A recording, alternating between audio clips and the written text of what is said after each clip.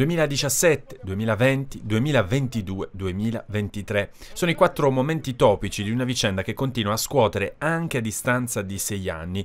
Come e perché è morto nella mattina del 16 agosto 2017 il giovane chef Raffaele Casale a seguito di un incidente con la moto sulla quale viaggiava da solo in via Martiri di Palermo a Trani.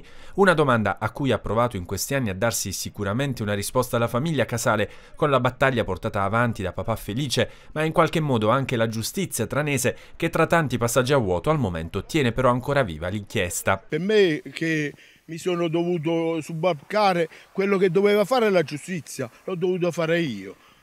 Eh, diciamo che è una notizia buona, però mi aspettavo di più. Ma mi basta anche questo perché io ho l'opportunità di prov far provare tutto quello che io ho dovuto portare alla magistratura sono eh, tutte i tre fascicoli, quattro fascicoli, 1663 pagine che io dal 2000 quando ho fatto riaperto passo le notti e me, le me le sono imparate a memoria. Eh.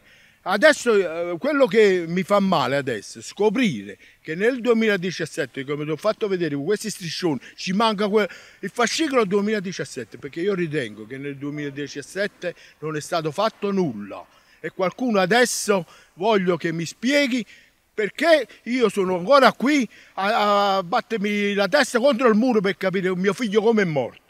Una settimana fa infatti è arrivata la nuova decisione del GIP Lucia Altamura di proroga di indagine di ulteriori sei mesi. Al momento nel registro degli indagati per omicidio colposo risulta iscritta solo una donna tranese che sarebbe stata al volante di una vettura al momento dell'incidente in moto di Raffaele Casale, ma omissioni, silenzi, indagini parziali sono al centro di numerosi esposti da parte di papà Felice che con la sua tenacia ha fatto riaprire il caso nel 2020 dopo forse una frettolosa archiviazione. Da allora i fascicoli sono diventati ben quattro nel complesso complesso, anno dopo anno e adesso contengono 1600 pagine di documenti, ma per papà Felice bisogna ancora continuare a indagare. A distanza di circa 200 metri dal luogo dell'incidente c'era per esempio una telecamera, le cui immagini però non sono mai state acquisite nell'immediatezza del sinistro.